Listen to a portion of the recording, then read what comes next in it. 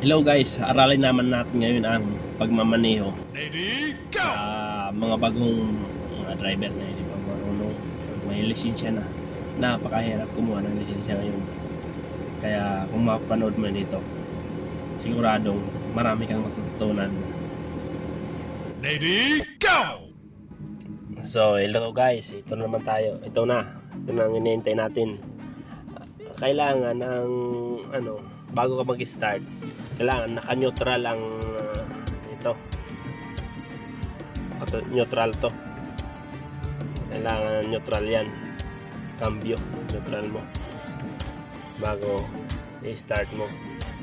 Yung switch niya pala dito yan sa ano, dito sa clutch may switch yan dito sikreto ng mga Toyota Vios yan Si- iapakan mo yung switch nya tapos start mo yan start mo. Tapos yan. So may aircon para maganda. Yan. Yan guys ha. Yan. Pira doon. Kailangan eh, ano muna na testingin muna natin yan. Kung sayang kung ano pag tagalin clutch muna yan primera primera segunda tercera cuarta tapos quinta yan ang lupit yay professional ka talaga yan. Bago mag-umandar, bago mabante, kailangan yan. Ibaba mo tong pindutin mo tong ano dito sa handbrake. Kapakan mo yung preno, baka umabante ka na mag-isa. Kasama sa mo. Kasagi ka. Preno ibaba mo tong handbrake. Dandang ah, dito ka na. Ito yan ito. Halimbawa primera. Ka yan. Clutch mo apak mo sagad. Primera tapos segunda tercera kwarta quinta yan yan primera mo yan apang ano kang segunda primera yan yan Primera, ayan. Uh, dandaan sa clutch bitaw. Linyador, dandaan. Apak. Yan. Pag segunda rin, pares lang step by step. Step by step. Ganun lang kabilis magmaneho. Yan. Ano ko, yan. Tapak preno. Bitaw sila. Bitaw preno ah. Tapos, clutch bitaw. Dandaan sa gasolina Pak kailangan mindset mo yung ano niya manibela tulad yan nidadaan yan apak preno ka e pwede mo eh, neutral tapos naka ano na yan nakapak sa clutch neutral bago neutral yan primera ka yan bante na tayo bante primera lang muna primera yan. Yan, primera ka. Primera. Segunda, ganun din. Nabaklats. Yan. Segunda na tayo. Yan. Ganda, silinyador. Yan. Yan, mabanti na tayo. Yan.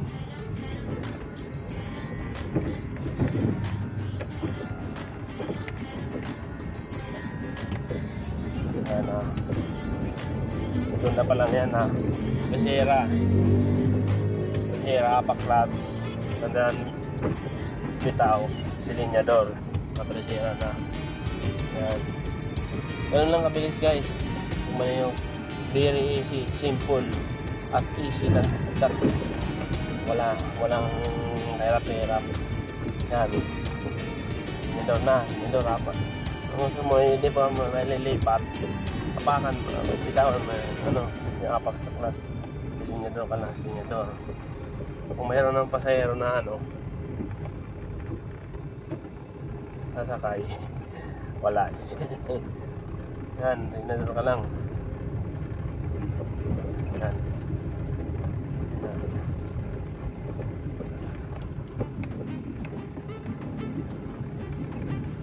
Yan.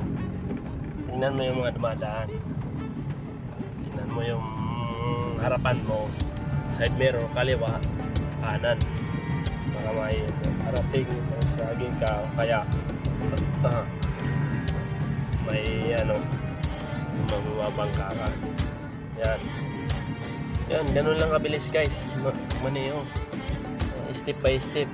Kung nasa ano ka naman, yung nasa Quintana, Quintana, halimbawa express, expressway. Kung mag-ano ka, magbabagal, eh low gear mo. Low gear, ganun lang yun kabili, kabilis magmaneho. Low gear mo.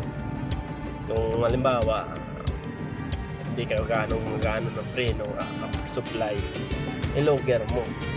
Apak naman sa clutch. Tapos, preno, pwede ka rin mag-supply ng ano, uh, ng preno, konti lang, mild lang, smooth, kumbaga, sa atin. Yan. Guys, marami na tayo natutunan yan. Uh, pa-like and subscribe naman uh, ng channel.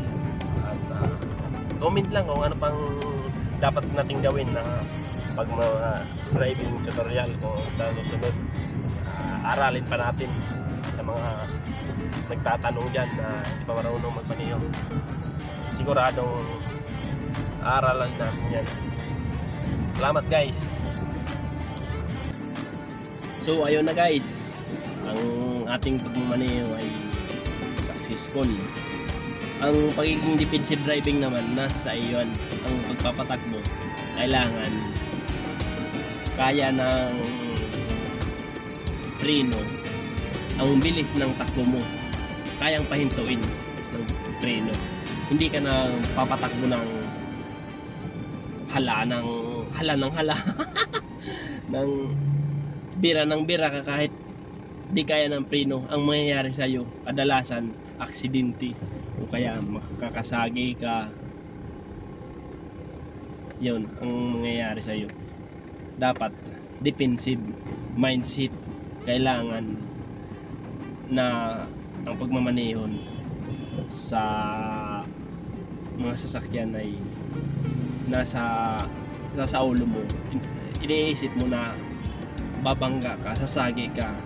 Pero kailangan nasa seat ang preno mo. Na nasa seat ang preno mo. Kailangan nakahanda ka sa anong mangyayari sa iyo kung gano'n ang mangyayari ang maganda ang pagmamaneho mo sa isang araw. Kaya lang ang mapapansin natin ngayon dito sobrang traffic. Baka hindi mo kayanin kung baguhan ka pa kalsada. Kailangan.